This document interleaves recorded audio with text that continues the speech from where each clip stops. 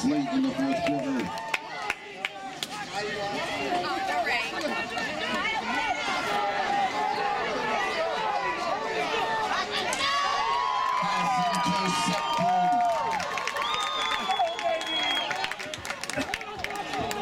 Number 12, Cooper Titan on the pick. Number 56, Andrews Valadares on the pressure.